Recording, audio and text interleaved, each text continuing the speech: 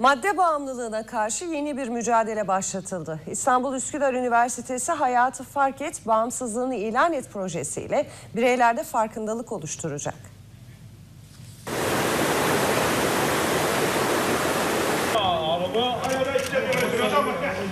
Bütün gençler risk grubunda.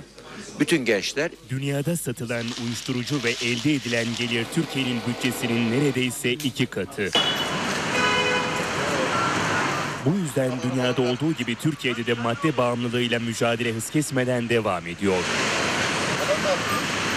İstanbul Üsküdar Üniversitesi'nin başlattığı bağımsızlık projesi de bunlardan biri. farklı isimlendirmeler e, kullanılmaktadır. Projeyle her biri alanında uzman ekipler bilimsel veriler ışığında gençlerde farkındalık yaratacak. kendilerine ait değerler oluşturarak özgür, bağımsız ama yaşamdan da haz alabilmeyi. Hatta bu hazı alırken başkaları için bir şey yaparak, iyilik yaparak da mutlu olunabileceğini, emek vermeden mutlu olunamayacağını da öğretmeye çalışıyoruz. Düzenlenen panelde bağımlılığın tespit edilmesindeki zorluklar masaya yatırılırken madde kullananların suçlu değil, hasta olarak kabul edilmesinin önemi vurgulandı. Hayır hiçbir şey abi. Merkezde elde edilecek analizler güvenlik güçlerine de ışık tutacak. Tanıyamıyorlar mesela polis bu bir uyuşturucu mu adamın kullandığı hapta olabilir cebinden çıkan şey.